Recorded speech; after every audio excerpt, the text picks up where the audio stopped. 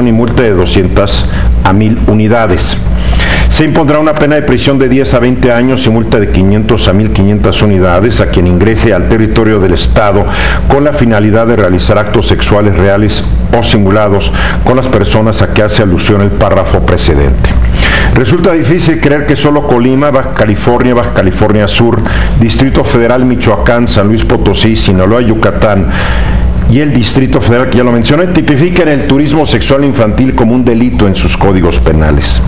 Más difícil aceptar que los códigos penales de Chihuahua, Guerrero y Quintana Roo no lo hayan tipificado, aun si se considera que Ciudad Juárez, Acapulco y Guerrero son, destinos favoritos de turistas nacionales y extranjeros que buscan realizar estos actos sexuales reales o simulados con niñas y niños que son explotados sexualmente por los delincuentes más viles que uno pueda imaginar y muchas veces estos niños son asesinados cuando dejan de serle útiles a sus explotadores.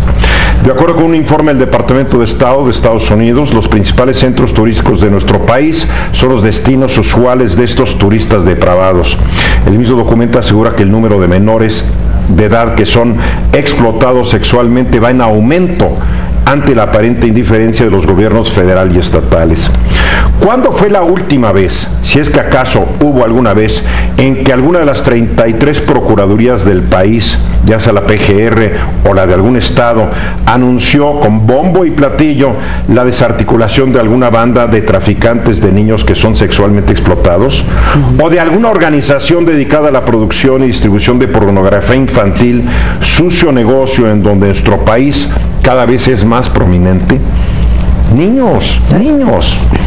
Y bandas de delincuencia organizada. Y niños que está documentado, esa o ese ya no sirve, mátalo. o, para tráfico de órganos, que es otro de los usos colaterales. es terrible. Pero lo terrible es que no se haga nada. Exacto, y cómo no autorizan esa, ay no, no puede ser. No puede ser. Son estados muy grandes. son 24 mil millones de dólares. Imagínate que la mitad, la mitad de esos 24 mil lo dediquen a corrupción de autoridades. claro. Son 12 mil millones de dolarotes. Pero entonces, ¿qué hay que hacer? Prevenir. Hay que crear una gran conciencia nacional de que a nuestros niños los están explotando sexualmente. Exacto, y prevenir. ¿Te acuerdas la campaña de mucho ojo? Yo, a mí me tocó hacer una campaña de mucho ojo en los ochentas. Fue buena, fue, buena, fue eficaz funcionó muchísimo. A muchas generaciones se les quedó el, oye, mucho ojo, te está diciendo que te va a llevar a tu casa a ver unos perritos, ten cuidado. ya no existen esas campañas. pero el problema es que también ahora tienes otros accesos. A través de internet y de redes sociales es donde hay más en este momento este ¿cómo se dice? cooptación de niños para ser este abusados. Los, hasta para ir a matar a una persona. Así es. terrible. No, no, pero aparte, ¿sabes qué? Que un artículo que estaba yo leyendo hace unos días dice que los niños no dicen que les ha pasado eso porque tienen miedo de que los papás les prohíban utilizar internet. Entonces los niños cuando reciben un mensaje de este tipo, en lugar de decirle, oye papá o mamá o tía, me recibí tal cosa, se quedan mejor callados. ¿Qué haces? Sí. Tienes que hacer algo antes. Yo, yo creo que tienes, que, estar debes supervisando. la computadora los, y los teléfonos. Este, Hay muchos candados cada vez más sofisticados para que un niño no pueda accesar páginas. ¿Y, qué Facebook a los 10 años? ni qué nada. El Facebook es para adolescentes ya terminales, 17, 18 años para arriba. Pues pero para niños de 10, 12 años. no pasa eso, es que de veras enfrentémoslo. Miren, yo creo que cualquier prohibición a los niños es una tentación para que hagan lo que se les está prohibiendo. Yo creo que claro que hay que poner los candados hasta donde se pueda. Y explicarles también por qué lo estás poniendo, ¿no? Lo más importante es decirle, oye, te puede pasar esto, esto te pueden hacer.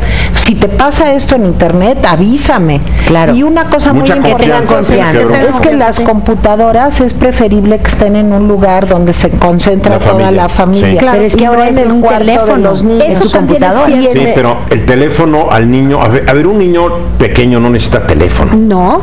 Realmente. ¿Quiere hablar? ¿Quieres hablar a tus amigos? A ver qué teléfono te marca. De un niño de 8, 9, 10, 12 años no, necesita un teléfono. Pero sí de 14 en adelante. Sí. De 14 en adelante sí, pero también supervisado. Que son supervisado, claro. porque es una herramienta para nosotros, pero también es un arma. Sí, pero yo creo que Eduardo dice al final del artículo una cosa de veras muy triste y es cuántas veces hemos escuchado que de veras hay una denuncia de que se captura una red, sobre todo a través de internet, porque este es verdaderamente el principal lugar para tener a los Pero también las bandas que tienen a los niños físicamente, Tere. Pero ahí los consiguen. Sí, ya, lo sé. Pero ¿cuándo te has enterado? Nunca. Y lo más. A mí me encantaría una conferencia de Ariel Gómez diciendo hemos agarrado esta banda, tenía tantos decenas, centenas de niños. Me encantaría. Y lo más triste de todo es que a veces algunos la mamá o el papá son los mismos que los llevan a prostituirse. Ah, no, sí, la miseria, la ignorancia, de alta marginación, sí, que esa es parte del turismo sexual y de los niños que venden para esclavitud en términos de tráfico de drogas. Pero ustedes saben varios fenómenos muy muy juntos, ¿no? Hay por ahí una teoría descabellada, pero que se maneja en Estados Unidos mucho, de que la pederastia no es una alteración, sino es una preferencia sexual. Fíjense a qué grado, ¿eh? O sea, y que así como hay homosexuales o no, ahora hay pederastas. sí, hay pederastas. crean organizaciones para luchar por sus derechos sí, claro, humanos sí, sí, yo soy pederasta Ay, no. Es una orientación, pero yo no veo que orientación sexual de un adulto con un niño. Es un abuso, no, son pares, no son pares, ya lo dijiste. No son dos adultos que consintiendo un acto. Es una persona vulnerable con un adulto. Es una persona que no es maduro emocional y psicológicamente para poder entender lo que le están diciendo. No, ya olvídate lo físico. El abuso empieza eh, por el abuso mental y emocional. Sí, sí hay eso, Eduardo. ¿eh? Se están dando conferencias, hay cursos para decir pues si yo la pederastia Si yo me entero de alguien que está dando un curso aquí en México, no, se la va a acabar. Yo no sé en México. Aquí en México no, se sabe que existe. Hay que proponer, nos enteramos, pero sería bueno averiguarlo. Hay que proponer campañas preventivas. Sí, la mejor prevención. Y en redes sociales también, si están atacando a los malos a través de las redes. Tienen que ser por redes sociales actualmente, no solamente en medios electrónicos. Y esta columna yo la publiqué hoy en ruizgilitimes.com y en varios periódicos de la República Mexicana y la pueden leer. Vamos a los mensajes, regresamos. 12 después de la hora. ¿No está de acuerdo con Eduardo Ruiz Gil? Dígaselo. Twitter, arroba Ruiz Gil.